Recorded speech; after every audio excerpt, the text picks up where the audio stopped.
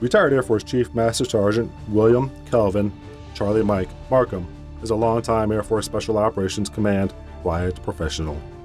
He started his career in security forces, transitioned into combat control, and served as three time command chief over a three decade career.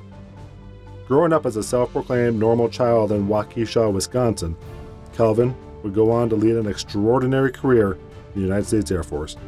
Charlie Mike enlisted on his 18th birthday in 1986. He excelled in law enforcement at Mather Air Force Base, California, and Ramstein Air Base, Germany, before cross training into combat control in 1992. Markham served for many years in the 23rd and 21st Special Tactics Squadrons and has an extensive operational background, including advanced skills as a Joint Terminal Attack Controller, Freefall and Static Line Jump Master, as well as a Combat Dive Supervisor. He deployed in support of many contingencies and special operations missions during Operations Resolute Support, Enduring Freedom, New Dawn, Iraqi Freedom, and many, many more.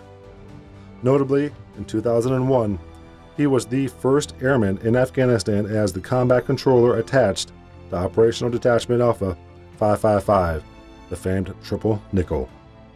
In a little over a month, he directed multiple airstrikes involving over 175 aircraft sorties, destroying 450 enemy vehicles and eliminating over 3,500 enemy troops. His efforts directly led to the liberation of Kabul and the surrender of hundreds of Al Qaeda and Taliban forces. Over the next 15 years, Chief Markham would serve as command chief on three separate occasions, using his extensive knowledge of combat operations to prepare airmen for an emergent type of warfare.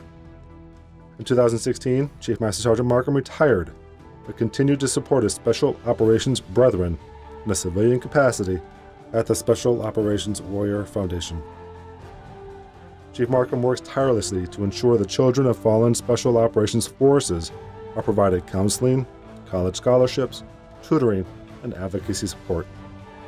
Special Operations Forces can sleep easy, knowing Calvin Markham has their left and right covered.